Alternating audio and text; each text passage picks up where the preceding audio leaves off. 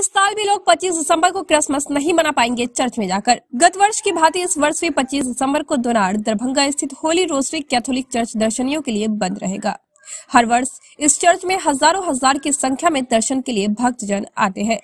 जहाँ एक तरफ़ विगत भारी वर्षा के कारण इस चर्च से बाहर निकलने का रास्ता क्षतिग्रस्त हो गया है। वहीं दूसरी तरफ़ कोरोना की तीसरी लहर को लेकर लगातार लोगों को सावधान किया जा रहा है। इन्हीं दोनों कारणों से चर्च में पल्ली परिषद की बैठक में यह निर्णय लिया गया कि इस वर्ष 25 दिसंबर को दर्शनियों के लिए एक चर्च खोलना संभव नहीं हो पाएगा। इस बात पर चर्च के द्वारा दरभंगा के जिलाधिकारी, वरीय पुलिस अधीक्षक तथा लोकल थाना को पत्र लिखकर समुचित सुरक्षा व्यवस्था मुहैया कराने का आवेदन दिया गया है। फादर के द्वारा सभी दरभंगा वासियों से नम्रता पूर्वक अपील की गई है कि इस वर्ष 25 दिसंबर को अपने घर से ही आध्यात्मिक रूप से दर्शन करें। फादर, आप सभी की मन्नतों के लिए प्रार्थना करेंगे। फादर ने सभी भक्तजनों को यह आश्वासन दिया है कि आगामी तीन से चार महीनों में मरम्मति का कार्य पूरा कर लिया जाएगा, तथा गुड फ्राइडे, एवं ईस्टर पर्व तक चर्च आम जनमानस के दर्शन के लिए पुनः खोल दिया जाएगा। फादर ने समस्त भक्तजन को सावधान करते हुए बताया कि कुछ बहरूपीय लोग चर्च मरम्मती, अनाथ या गरीब बच्चों की सहायता के नाम पर खुद को चर्च से आया बताकर चंदा के नाम पर ठगी का काम कर रहे हैं। चर्च कभी किसी को चंदा लेने के लिए इस प्रकार से नहीं भेजता है। ऐसे फ्रॉड लोगों की शिकायत तुरंत पुलिस प्रशासन को करे। यदि कोई स्वेच्छा से दान देना चाहे तो सीधे चर्च आकर दान करे। आप पेरिस पेरिस्ट के नाम से चेक या कैश को सीधा चर्च के दान पेटी में डाल सकते हैं। फादर से बात, आप उनके मोबाइल नंबर आठ सात, आठ नौ, पाँच आठ, एक पाँच, छ छ या फिर नौ नौ, पाँच पाँच, चार चार, शून्य एक, पाँच एक पर भी कर सकते हैं। आप सभी को क्रिसमस एवं नववर्ष की हार्दिक शुभकामना। बालक यीशु आपके पूरे परिवार को आशीर्वाद, सुख, शांति एवं समृद्धि प्रदान करे इसकी कामना की। मैंने विशेष रूप से क्रिसमस के उपलक्ष्य में दरभंगा के सारे जनता को, सारे विश्वासियों को संबोधित करने के लिए बुलाया है। बीते वर्ष कोरोना के कारण हम लोग चर्च नहीं खोल पाए थे। इस वर्ष भी कोरोना है, ओमिक्रॉन का जो वेरिएंट है वो भी काफ़ी खतरनाक है। और इसलिए हम लोग 25 दिसंबर को आम दर्शनार्थियों के लिए हम लोग चर्च खोलने में असमर्थ हैं।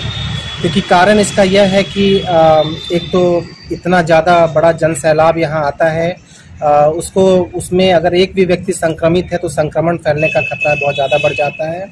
और दूसरा महत्वपूर्ण बात है कि हमारा जो चर्च का जो निकास का जो रास्ता है, वह बीते बरसात में क्षतिग्रस्त हो गया है। बहुत ज़्यादा क्षतिग्रस्त हो गया है। इसमें एक आदमी का भी उस रास्ते से निकल पाना संभव नहीं है। और इसलिए अगर इसमें अगर लोग भीड़ में आते हैं तो कोई भी हादसा हो सकता है। इसी को प्रिवेंटिव मेजर्स के रूप में हम लोगों ने यहाँ के पल्ली परिषद की बैठक हुई। उसमें निर्णय लिया गया कि इस साल भी हम लोग भक्तजनों के लिए चर्च नहीं खोल पाएँगे। लेकिन मैं पुरोहित के रूप में मैं आश्वस्त करना चाहता हूँ कि 24 तारीख रात और 25 तारीख को मैं अपने सारे लोगों के लिए, दरभंगा वासियों के लिए यहाँ अमन शांति चैन के लिए मैं आप सबों के लिए प्रार्थना करूँगा। और इसके बारे में बताना चाह रहा था कि इन दिनों कुछ मुझे शिकायतें मिली है दरभंगा से कि, दरभंगा के कुछ लोगों से कि कुछ लोग नन का ड्रेस में या फिर फ्रॉड करने के उद्देश्य से जाकर ये बोलते हैं कि चर्च का दीवार टूटा हुआ है, रास्ता टूटा हुआ है, यहाँ पे अनाथ बच्चे पलते हैं। उन सबों के नाम से कुछ लोग चंदा मांगते हैं, दान मांगते हैं और बड़ी रकम का मांग करते हैं। मैं बताना चाहूँगा कि ये चर्च के माध्यम से किसी को ऑथराइज नहीं किया गया है हम्म। किसी को ऐसा करने के लिए नहीं कहा गया है। ऐसे लोग यदि आपके पास। आते हैं उन पर तुरंत आप लोग पुलिस कार्रवाई करें। अगर संभव हो तो मुझे भी सूचना दें। मेरा मोबाइल नंबर है double nine double five double four zero one five one मैं चाहूँगा कि ऐसे जो लोग फ्रॉड करते हैं वो तुरंत कानून के पकड़ में आए और ऐसा गलती वो लोग ना करें।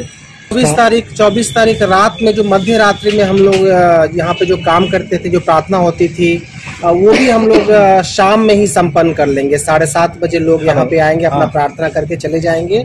और जो लोग शाम में नहीं आ पाएँगे उनके लिए सुबह आठ बजे व्यवस्था रहेगी कि वे लोग भी आकर के सुबह अपना पूजन पाठ बलिदान करा करके जा सकते हैं। बस जो भीड़ आती है जो काफ़ी लोग दर्शन के लिए आते हैं उनके लिए हम लोग चर्च उस दिन नहीं खोल पाएँगे। असमर्थ हैं, हम मजबूर हैं। लेकिन हम लोग पूरा प्रयास कर रहे हैं कि तीन चार महीने में जो क्षतिग्रस्त रास्ता है, उसका हम लोग रिपेयर करा सके, उसको हम लोग मरम्मती करा सके। और गुड फ्राइडे तक, यानी कि अप्रैल महीना तक चर्च लोगों के लिए फिर से खुल जाएगा।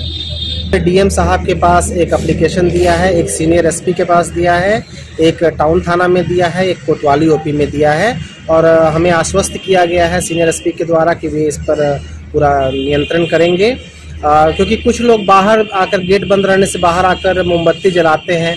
हम लोगों को उससे कोई प्रॉब्लम नहीं है। बशर्ते कि दरभंगा प्रशासन उसकी इजाज़त दे क्योंकि वो तो प्रशासन के अधिकार क्षेत्र में आता है। हमारे अधिकार क्षेत्र में है नहीं कि हम लोग लोगों को रोके या परमिशन दे बाहर रोड पे आने के लिए। वो अच्छा रहेगा कि डीएम साहब से इस बारे में बात की। बाहर में किसी तरह का पट मैं हम लोगों ने तीन चार हफ़्ता पहले ही इसको लेकर के एक फ्लेक्स बैनर लगा दिया है और आप लोग के माध्यम से भी लोगों को हम लोग जागरूक कर रहे हैं। इस न्यूज़ के प्रस्तुत करता है City Centre the complete multi brand men's wear showroom Subhash Chowk Darbhanga. ली एक सक्लूसिव शोरूम सुभाष चौक। और दैनिक कौमी तंजीम न्यूज़पेपर दरभंगा।